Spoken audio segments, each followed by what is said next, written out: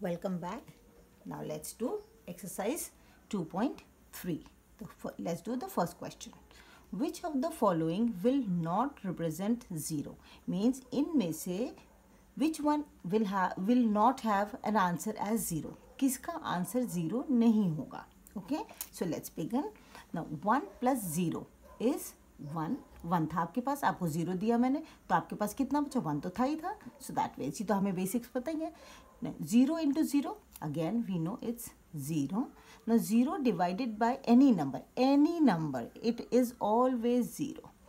zero कभी भी किसी भी नंबर से डिवाइड होगा तो it is going to be zero अब ये ये थोड़ा सॉल्व करना पड़ेगा। Ten minus ten is zero zero and uh, was upon 2 again we get 0 divide is being divided by a number so this 2 is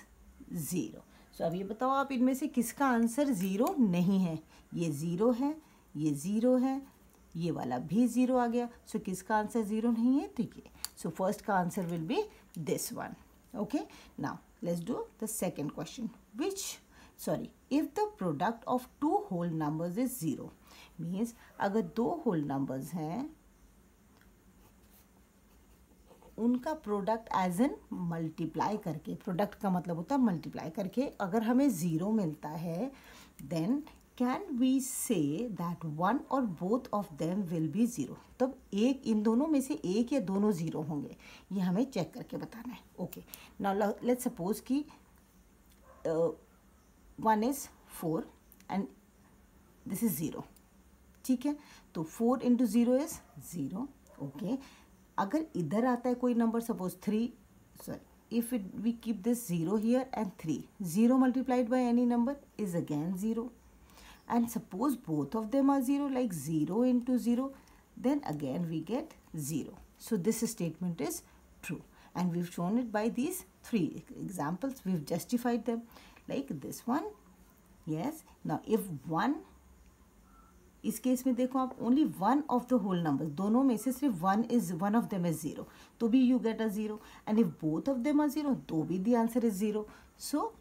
ये तीनों एग्जाम्पल्स आपने करके अपनी बात को जस्टिफाई कर दिया कि this is ट्रू कि इफ वन ऑफ देम या both of them are zero तो answer is going to be zero okay now let's do the third question if the product of two whole numbers the product मतलब multiply करने के बाद दो whole numbers को is one means when you multiply any two whole numbers you get one if this is the case then can we say that one or both of them will be one now if i write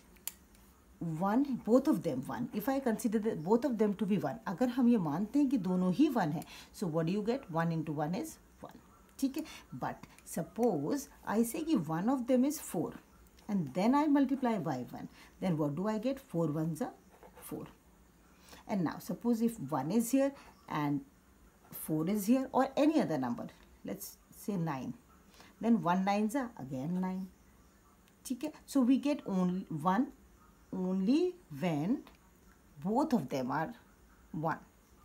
अगर इनमें से कोई एक भी अलग है तो answer वही जो नंबर अलग है, वही आंसर में आएगा। ओके सो इसका answer we can write that one will come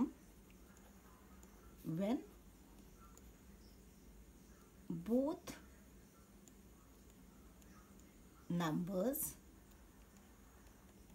will be one जब दोनों ही नंबर वन होंगे like in this case this one तभी वन आएगा। सो हमारा आंसर यही वाला है, ये हमने प्रूव कर दिया and this is going to be the answer statement okay now we done question number three let's do question number four